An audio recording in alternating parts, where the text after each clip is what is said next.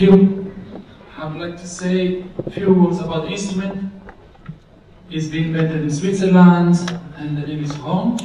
And they say that the inventors made the instrument uh, for healing, for personal healing. And my experience is that the, the, the beauty of the instrument is the sound. And the sound is so nice, so beautiful, that it can bring you in the moment just by listening.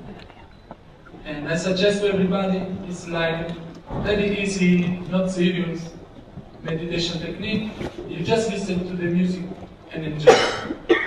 And when you see your mind go somewhere else, in the past, in the future, think about what you're gonna have for breakfast tomorrow, or whatever, or why this guy looks a little bit funny, you just come back to listen. And that, you mean, you may be in the moment, in the present. So enjoy. Thank you.